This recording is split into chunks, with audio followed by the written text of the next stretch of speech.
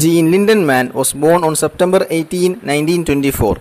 He was a Swiss virologist and immunologist. Lindenmann, together with his colleague, the British virologist Alec Isaacs, co-discovered and identified interferon in 1957 through their research at the National Institute for Medical Research.